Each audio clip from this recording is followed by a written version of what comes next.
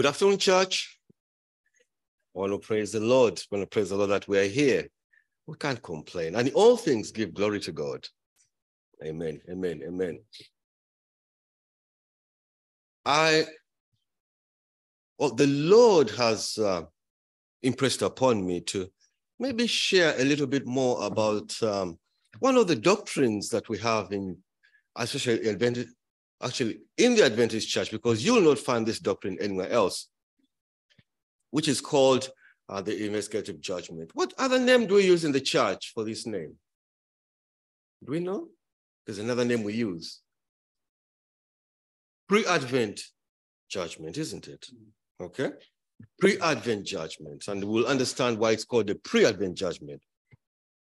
Because pre means before, Advent means Christ coming, and judgment. That means this judgment we're talking about now is the one before Christ what?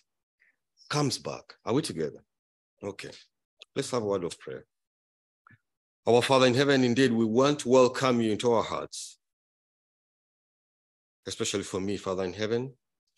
I pray that you speak through me, and I pray for your children so that this is not complicated at all. This is supposed to be good news, and I pray, Father in heaven, that this good news will not only remain in our hearts, but also we'll share it with our brothers and sisters out there. Give me the voice so that I can be able to speak the words that only you have put in my mouth. Thank you for hearing and answering up my prayer. In Jesus' name we pray. Amen. Amen. Amen. So, like I said, more than any other doctrine, the investigative judgment doctrine is created what? Fear, isn't it? Because when you read Daniel um, chapter 7, of course, verse 9 and 10, there is this scene that uh, is talking about somebody seated on the throne and there is fire everywhere. And, you know, so it creates it creates a bit of fear and insecurity, doesn't it? Doesn't it? And I think most Christians realize that, uh, or they believe that uh, their, their works is going to determine their um, eternal destiny, which is not right. But here we want to find out this pre-Advent judgment uh, of the believers uh, in the light of the gospel, the everlasting gospel. It's supposed to be good news. Uh, Brother Solon, could you could we put uh, the the the first one? This is um, this is the great controversy. Those who share the benefits of the Savior's medi mediation should permit nothing to interfere with their duty to perfect holiness in the fear of God the precious hours, instead of being given to pleasure, to display or to gain seeking, should be devoted to honest, prayerful study of the word of, of the word of truth. This is what is important. The subject of the sanctuary, that's one, and the investigative judgment should be clearly understood by the people of God. All knowledge, all need and knowledge for themselves of the position and work of their great high priest. Otherwise, it would be impossible for them to exercise the faith which is essential at this time or occupy the position which God designs them to fill. Every individual has a soul to save, all to lose. Each has a case pending at the bar of God. Each must meet the great judge face to face. How important, then, that every mind contemplate often the solemn sin of the judgment shall sit and the book shall be opened when with Daniel, every individual must stand in his lot at the end of the days. Our sister is telling us that it's very important for you and I to understand. She's talking about two um, doctrines that we have, the sanctuary and the judgment. But obviously, when we're talking about the judgment, we know very well that also have the sanctuary in mind, isn't it? Now that's another story that we, another topic that we don't want to go. Now, obviously, if you have been in a different church, in different denomination, you've got an idea of how our brothers and sisters look at us as Adventists, you know, especially when we talk about pre-Advent judgment, okay? So I'll give you a quote from, uh, I don't know whether whoever has read this, Walter Martin. Walter Martin. Uh, he's uh, the author of The Kingdom of the Cults, because obviously they, they look at us as one of the cults, isn't it? Jehovah Witnesses, who's the other one? Mormons, who's the other one? Christian Science, and Seventh Adventists. So they believe we will focus. And when they're in their theological schools, when they are studying, they normally look at the four um, denominations as cults. So this is what he writes. Yeah, page 479, if you can Google that. Holding as they do to the doctrine of investigate, in the investigative judgment, referring to Seventh Adventists, it is extremely difficult for us evangelicals, okay, to understand how they, the Seventh Adventists, can experience the joy of salvation and the knowledge of sins forgiven. Can you see that, uh, of course, he doesn't understand that uh, we understand what the judgment is all about. We know the judgment is about good news, isn't it? No, it's not to condemn us. It shows us that God loves us, isn't it? Again, if we look at the sanctuary and the judgment, yes, God loves us. Because like we were speaking in the lesson, we know very well, so a bit of uh, Adventist history uh, or doctrine. So right now we know that Christ is, where is Christ right now? Do we know? Do we know where Christ is at the moment? Where is he? He's in heaven, okay? Two. Okay, whereabouts in heaven uh, do we believe he is? In the sanctuary, in the in the holy place. In the holy place? In the most holy place. Okay. What is he doing in the most holy place? He's acting as advocate for you and I, isn't he? In other words, he's pleading on your behalf and mine. Are we together? He is pleading on your behalf and mine. Which is very important. Okay, so we know Christ is in the most holy place because we know he's in the most holy place because he moved from the holy place to the most holy place. When did he move there? 1844. Thank you, brothers and sisters. So if Christ is our advocate, what is he advocating about? What is he advocating about? Sins, my brothers and sisters. Okay? Our sins. Because don't forget, when Christ is in the most holy place, we remember when it was the earthly sanctuary, when the high priest, because he's a high priest right now, when the high priest was in the most holy place, what was he doing in the most holy place when the high priest? He was cleansing the sanctuary, wasn't he? And that used to be done every what? Every day on over atonement on the day of atonement. Are we together? So we believe that Christ is there. Okay? So he's pleading on your behalf because he knows that Satan is on your back. Are we together? So as much as he's pleading, okay, there, there has to come a time when the investigation will what? Will end. And after that, then judgment will be passed, isn't it? And then after that, he will come down and do what? And take you, who has been found to be what? Faithful. Are we together? Simply put it, don't want to complicate things. So what other Christians fail to realize is that changing their behavior from bad to good doesn't change our nature. Can I repeat that? Even if we change our behavior from bad to good, what is our nature? Begin letter S. It's a sinful nature. Are we together? It doesn't change. But we know that when Christ comes back, when is that nature going to be changed?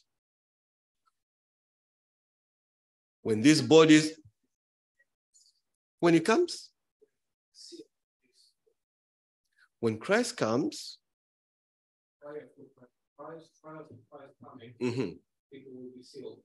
And then when Christ stands from the, uh, from the holy sanctuary, yeah, yes, then who is sinful will remain sinful, who is holy will remain holy. yes. But when the transformation of our bodies, yes, Amen.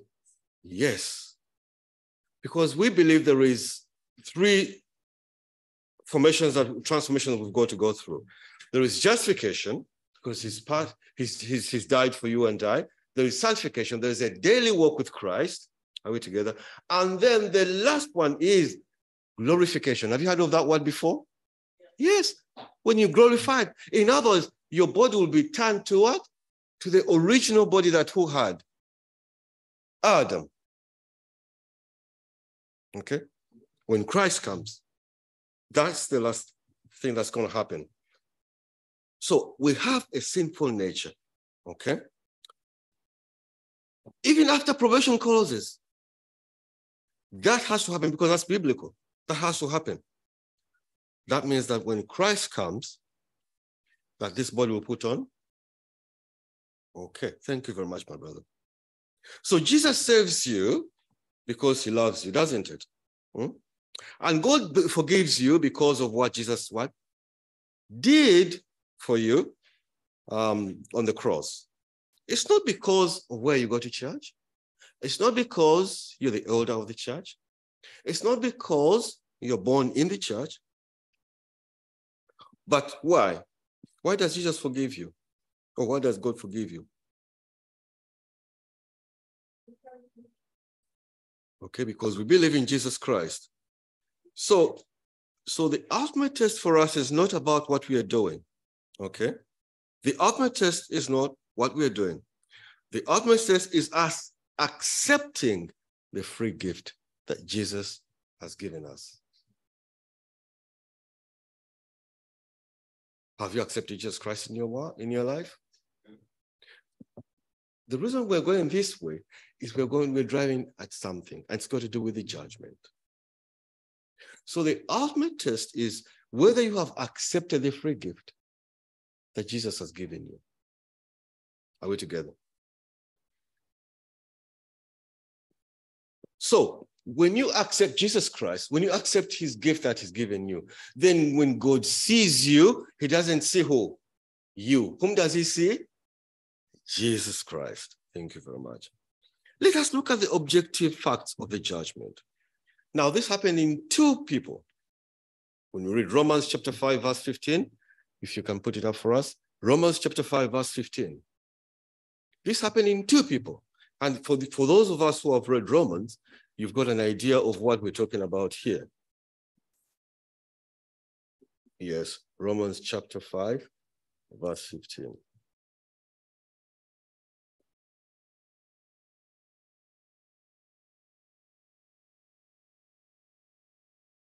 So we got two people here. We got Jesus, we got Adam, and we got Jesus. And that's why sometimes Jesus is called the what? The second Adam. Thank you. Okay. He says, but not as the offense, so also is the free gift. For if through the offense one many, one many be dead, much more the grace of God and the gift by grace, which is by one man, Jesus Christ, have abounded unto many. In simple terms, it's telling us that one man did something, and then we're all condemned. Are we together? When Adam sinned, we're what? All condemned. But then when Jesus obeyed, whom did he obey? His Father in heaven. We all became what? We, come, we all came into eternal life. Are we together with that? Yes. So it is In other words, with Adam, there's nothing we can do about it. It is something that we inherit. Are we together? Yeah, because when Jesus, when Adam sinned, God did not create any other beings. We are all from Adam. That's why babies die. Did you realize that? Yeah, because sin led to death, isn't it? So now, when Jesus died for you and I, then we have the surety of eternal life. So it depends. Who, which life do you want to live? Do you want to live the Adam life? There's going to be constant condemnation. Or do you want to live a Christ life, which gives you everlasting life? Are we together? So, once we know that, because if we know that Adam's sin affected all human life and brought condemnation and death to all mankind, and Christ obeyed, therefore he brought the effect and he brought life, which the effect of justification unto life. So the difference that we have is that in Adam, we did inherit, but what Christ did is a gift that has to be received. And God, God, Christ is good, Christ is good because he doesn't force himself on us, okay? But he's giving us a gift. And that gift is what? Everlasting life, okay? So our eternal destiny depends on which humanity we choose and my brothers and sisters, I'm praying that you and I choose the correct humanity. And that humanity is the one for Jesus Christ. Are we together? So, by faith in Christ, our subjective experiential status immediately changes from death to life, which came from who? Death to life came from who? from Adam. Our experiential status, okay, immediately changes from death to life, from condemnation to justification. So let's read John chapter 5, verse 24. John chapter 5, verse 24. John chapter 5, verse 24.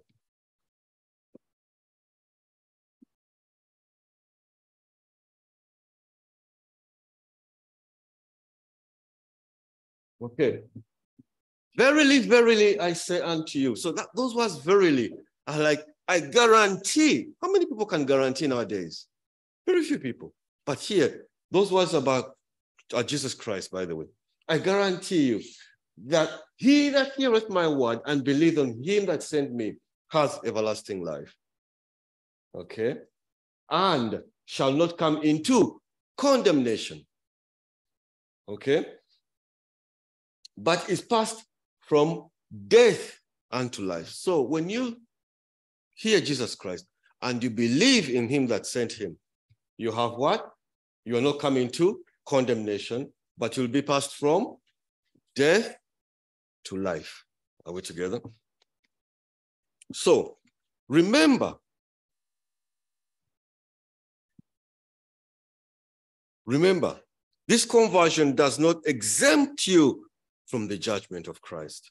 Because the Bible told us that we shall all be what? Judged. We read the quote, Sister Ellen G. White's quote, that we shall all what? Stand in our own what? Slots, even as believers, you know?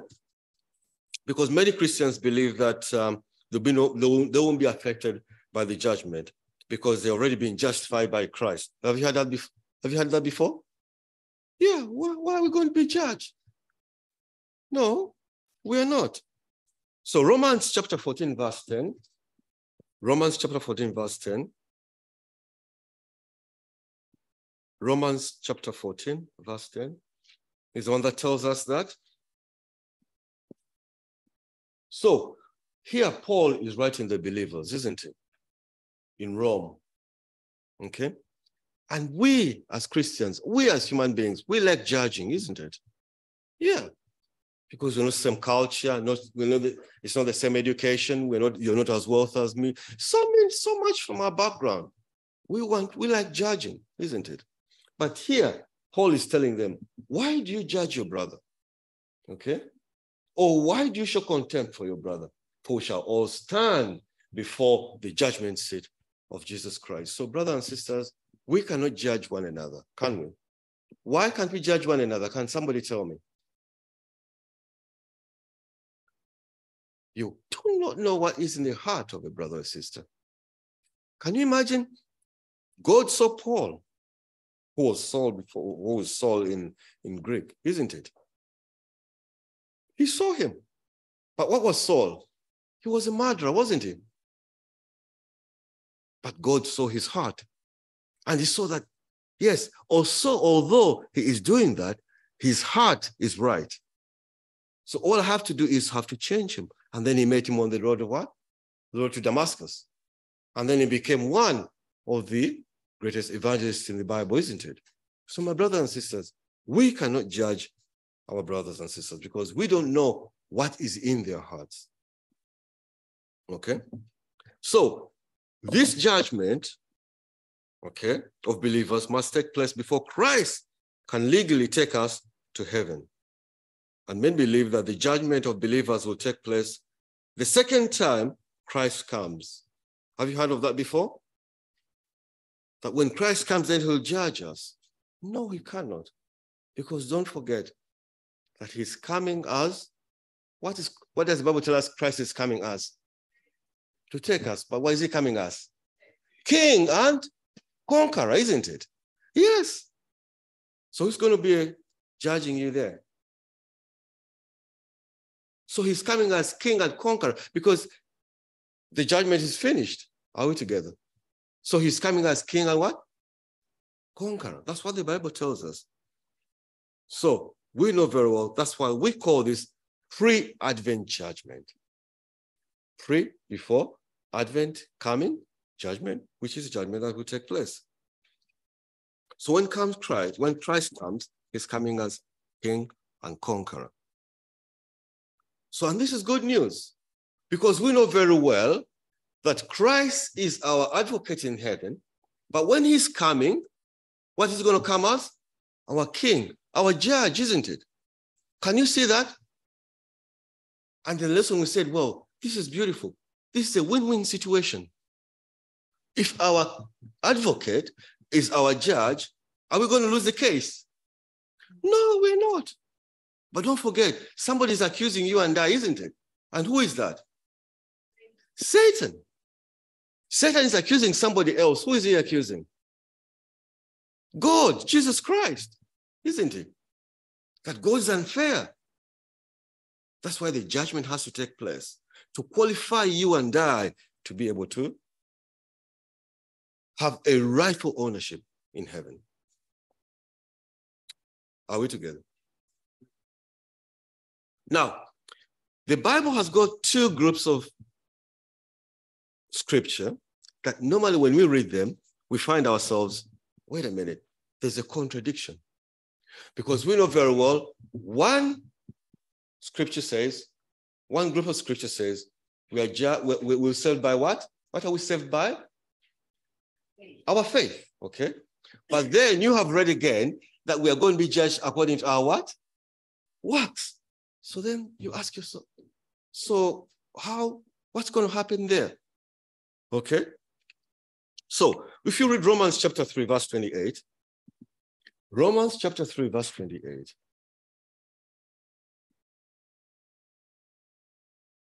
Romans chapter 3, verse 3. Okay, straight away, Paul says it as it is. There is, therefore, we conclude that a man is justified by faith apart from the deeds of the law. Are we together? It's straightforward. Romans chapter 4, verse 5. Romans chapter 4, verse 5. And most of these uh, uh, uh, scriptures have been written by the same man. But to him who does not work, but believes on him who justifies the ungodly, his faith is accounted for righteousness. Again, there, we are judged by what? By faith, but not by what? By our works. Okay? And then Ephesians chapter 2, verse 8 and 9. So this is just to understand, yes, this is what the Bible is saying. These are not uh, stories that uh, we, uh, I'm coming up with. For by grace you've been saved through faith. And that not of yourselves. And what? It is a gift of God. And then the last one is going to be Titus chapter 3, verse 5. Not, not of works, lest anyone should boast. And then Titus chapter 3, verse 5. Titus chapter 3, verse 5. Not by your works of righteousness, which you which we have done, but according to his mercy, he saved us through the washing of regeneration and renewing of the Holy Spirit. So these scriptures are telling us we are saved by what? Faith. But then there's another group of scripture which tells us that we'll be judged by our works. So if we look at Matthew chapter 16, verse 27. Matthew chapter 16, verse 27. Let's read this. For the Son of Man will come in the glory of his Father with his angels, and then he will reward each according to his works. Hello. Okay, let's look at John chapter 5. Yes, verse 28 to 29. That's Christ saying, by the way, do not marvel at this, for the hour is coming in which all who are all who are in the grave will hear his voice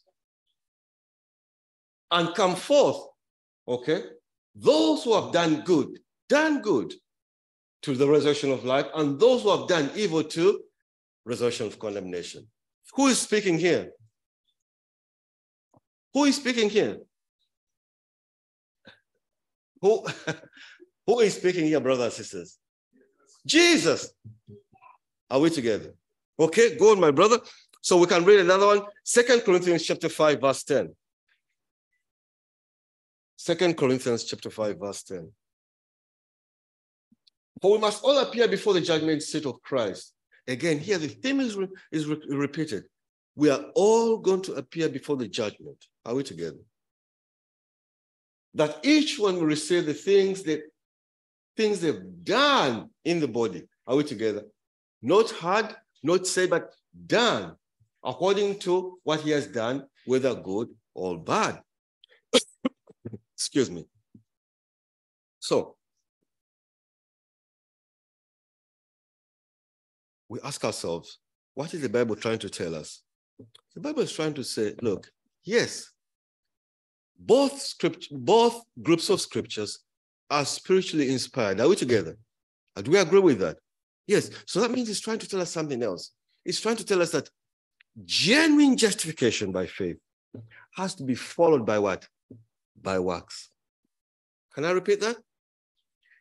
Genuine justification by faith has to be followed by works. Are we together? Let's look at John chapter 14, verse 12.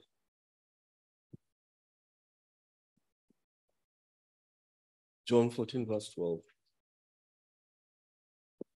Most assuredly, I say to you, he who believes in me and the works that I do, he will do also. And greater works than these he will do, because I go to my Father. Yes, here Jesus is telling you, yes, if you have got genuine justification by faith, what's going to follow you? The works, okay? But what works are those? Good works. Are we, are we together, brothers and sisters? Good works. Now we read Ephesians chapter 2, verse 8 and 9, but let's read 8, 9, and 10 this time. Ephesians chapter 2, verse 8, 9, and 10. So for by grace you've been saved through faith, and that not of your souls. It is the gift of God, not of works, lest anyone should boast. For we are his workmanship, created in Christ for good works, okay, which God prepared beforehand that we should walk in them. Are we together? So, in other words, genuine justification by faith has to be followed by what? By works. Are we together? Read the last one, Titus chapter 3, verse 5 and 8. Titus chapter 3. Ch- Titus chapter 3, verse 5 and 8. So again, I think we read this through. Not by works of righteousness which we have done, but according to his mercy, he saved us through the washing of regeneration and renewing of the Holy Spirit. This is a saying And these things I want you to affirm constantly that those who have believed in God should be careful to what? To maintain what? Good works, that these things are good and profitable to men. One, these things are not for the believer. Who are they for? What are your good works for? For the people. Are we together? Yes. If you have, if you really have genuine faith, uh, justification by faith, your works will be evident to those who see you. You'll be compassionate. You know Galatians chapter 5, verse 22 and 23? Those fruits of the Spirit will be evident in your lives. Nobody will ask you to come early here. Nobody will ask you to spare, to, to, to give to the, to, to the work of, of God to be able to progress, you know? Because why? Because your faith, which you've been justified, you know, is the good works that you're doing. We know very well about somebody in the Bible Abraham. Abraham is the father of the what? Father of what? Father of what? Faith, my brothers and sisters. We know the, the faith scripture. Do we know where the faith scripture is? Or the faith chapter in Hebrews? Faith, Hebrews chapter 11. Are we together? Okay? Hebrews chapter 11. Do we know the history of Abraham? Because really, this is going to show us that yes. So God comes to Abraham and tells him that, look, this Genesis chapter 15 or 14, I think. God, tell, God tells him, look, leave this place and go somewhere else. Does he linger about? No. He goes. But before he goes, he tells him that you're going to do what? You're going to be a father of many what? Nations. So after some time, we're talking about eight, ten years, no child. Are we together? After eight years, actually, God, uh, uh, Abraham, God comes to Abraham and says, Why do you doubt what I told you? I, I promised you, you're going to be the father of many children. Do we know how many children he's going to have? Those who remember. Do you know how many children God showed him he's going to have? He told him, Go outside and look where? The stars. Are we together? 10 years, no child. And yet I'm going to have, a, you know, so obviously, Abraham was, wait a minute, what's happening here? So the culture then was when? What? The one who is in your house, the one who is uh, like the leader in your house is going to be taking your inheritance. And we know that this person's name. What was the person's name that was in uh, um, uh, Abraham's house? That he was worried that's going to take his inheritance. Eliezer, you remember him? Yes. Because here is Abraham saying, where is the child? I don't have a, somebody to take over my inheritance. This servant Eliezer is going to take everything. And God says, No. The child that's going to inherit your goods is going to be who? From your loins. Do you remember that? We don't have to go up back there. So he says, Yes, that's fine. Then two more years, and then no. What does Sarah tell him? I think, I think I, am trying to think that God, uh, Sarah, uh, Sarah must have told him, I think God only meant you to have a child, not through me. And what does she suggest? Go to my what? Go to my maid. Let her have a surrogate father, uh, child, and then you help God to have a child. And of course, we know who was born then. Who was born from uh, Abraham and Hagar? Ishmael. Are we together? But we know very well that that's not the child that really God wanted. Now, God has to show Abraham that, look, you need to believe in me because I made a promise. And this is what I want also to encourage you. When God makes a promise, it comes through. Are we together? Because we know very well he made a promise at the foundation of the what? Of the creation, didn't he? That he will send you and I a what? A savior. And if you feel that 2,000 years ago, isn't it? So please believe in God. if he says something, he means it. So we can see that obviously Isaac wasn't born. But then we can see when, when, when do we know when Isaac was born? How old was Abraham? 100? And how was how old was Hagar? We're talking about 90 years. So it was impossible, impossible for them to have a child. Can you see how good God is? So Abraham has who? Isaac with Sarah. And Isaac, what do we, what do we call Isaac in the Bible? Child of laughter. Yes, I know. It's child of laughter. Because, well, it was an impossibility. Because God wanted to show Adam, Abraham, that look, if I make a promise, I fulfill that promise. And I know God has fulfilled many promises for yours and my lives. Even when we can see no way out, God has actually come through for us.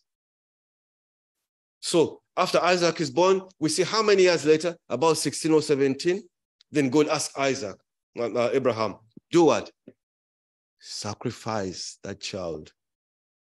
Now, which one of your parents would actually understand what God was talking about there? But what does Abraham do? Does this uh, refuse? No. But do you know that was a test? Okay, so if we read Hebrews chapter 11, verse 17 to 19, that was a test. By faith, Abraham, when he was tested, offered up Isaac, and he who had received the promises offered up his only begotten son. Now, that word begotten, of whom it was said, In Isaac your seed shall be called concluding that God was able to raise him up even from the dead, from which he also received him in a figurative sense. That word begotten is not the same as Jesus Christ, because you see, English is that's what it, it, it, it, it does. It just puts the word there, and then you need to go back and find out what does really this begotten mean. Begotten here, in terms of in context of what we're doing, we're reading here, is a special child. Isaac was a special child because nobody knew how he was born. So Jesus begotten. He was also a special child.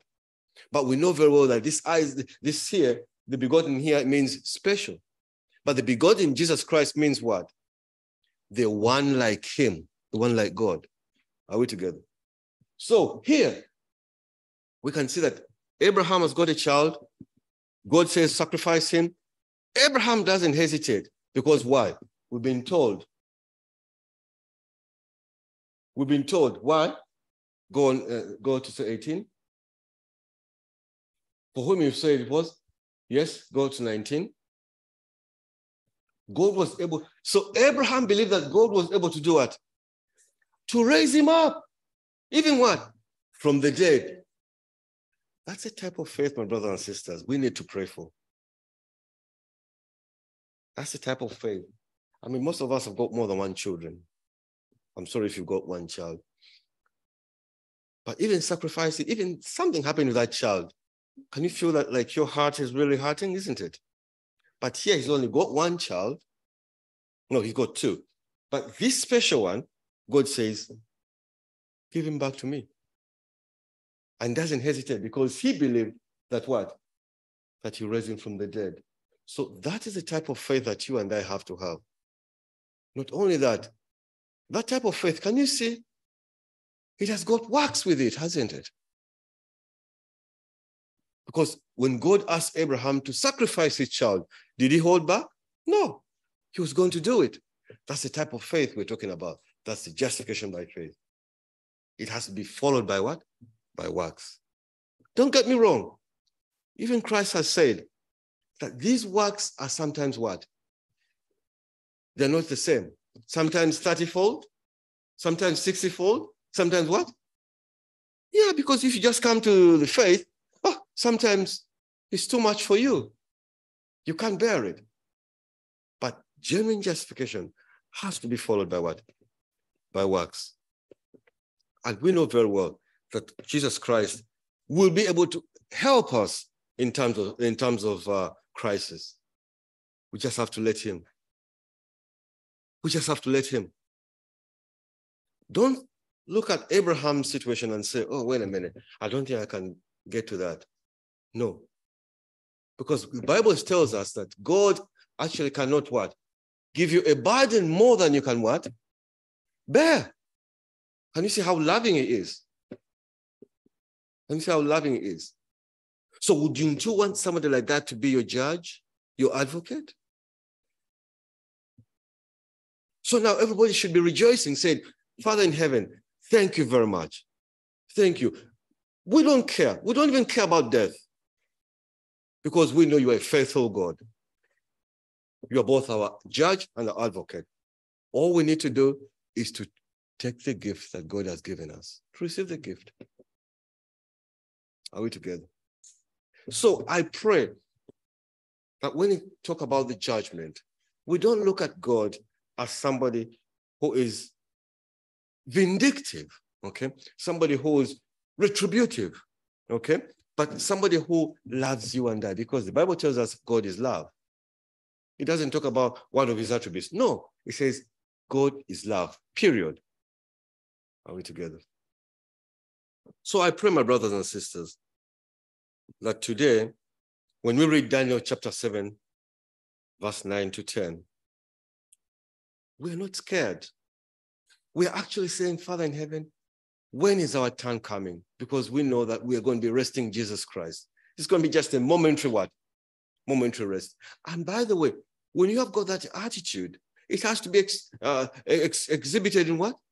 In your works. You will encourage others. They'll be coming to ask you, how is it that you have? How is it that you've gone through that? Are we together? And that's why you and I come to church to encourage one another. Are we together? So that when we go out there, we can witness that the God we serve is a God of love and a God of so much mercy. Thank you very much for listening. Amen.